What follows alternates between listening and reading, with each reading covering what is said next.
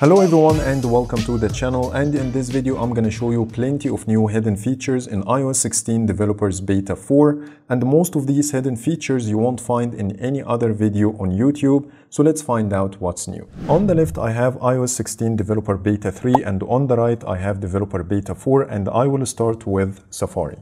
The tab switcher of Safari got a lot of new changes. First, the number of tabs at the top left corner has been removed and it only appears at the bottom. The second change is the search bar now hidden in beta 4 and to get it you need to swipe down. Change number three is the new mic icon that will allow you to search your tabs using the voice, not only the keyboard like before. Now let's open a web page on both to show you a new useful shortcut. So for example, if you have a piece of text that you want to search in page, like the word iPhone for example, when you select the text, you will see this new shortcut says find selection. Once you tap on it, it will start the find in page uh, feature and you can search for the same word in multiple places across the web page. So that's pretty much it when it comes to Safari. Now let me show you some random changes and the first one is in the text selection tool. When you select any text in any app, you will see a new option here called Search Web, which will take you right away to Safari with the search results.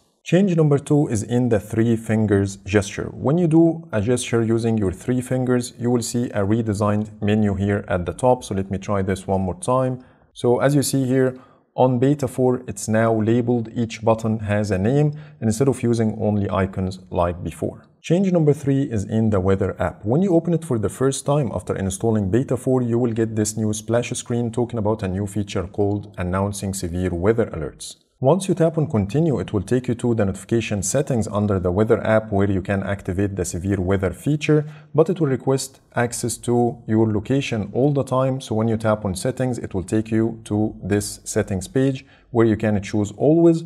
Once done and then go back to the weather app, you will get an alert saying weather would like to send you critical alerts. Once you tap on allow, the feature will be activated. So let me show you how you can access it from the app itself by tapping on the list icon and then the ellipsis button, then notifications, and you will see the new toggle over here. Change number four is in the Books app. When you go to the themes and settings and then tap on the options button, then go to font, now you will see 13 fonts in beta 4 versus only 9 in beta 3. Change number 5 is in the spotlight search and I got this new suggestion saying often played at this time and it shows here the name of the radio. So it seems like the spotlight search will now suggest the music based on the time of the day which didn't exist in beta 3. Change number 6 is in Siri voice. I think it talks in a slightly different way after beta 4 so let me show you some samples. What's the weather?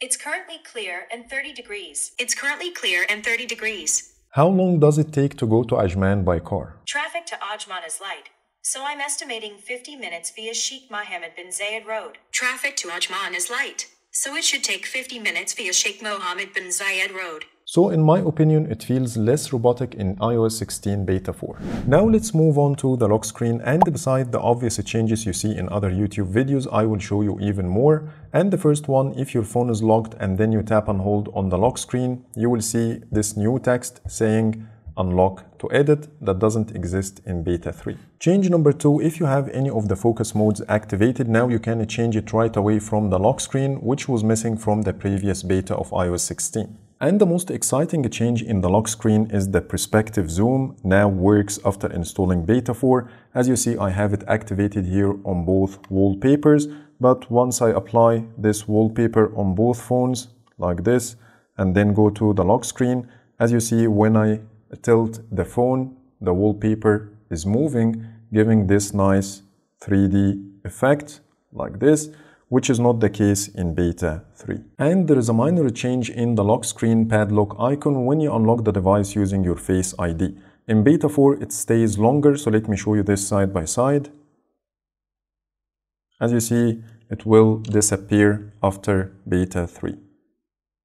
The lock screen widgets also got some new changes and I will start with the weather app. First, the order of the widgets is totally different and a lot of them have been renamed. For instance, the rain widget is now called precipitation, sun events has been renamed to sunrise and sunset, and moon events has been renamed to moon. And when it comes to the clock widgets, you will see some differences too. The digital and the analog clocks are now separated under two separate categories. One is called city digital and one is called city analog. And lastly, the clock category has been removed because it's not required anymore. Now let's move on to the Photos app. And the first change under the All Photos category, when you pinch to zoom, uh, you will no longer be able to make your photos very tiny like this, but this is the maximum you can do in beta 4. And in the months view, the dates are written differently. So if you take a look here at the dates, you will see the month is coming first and then the day,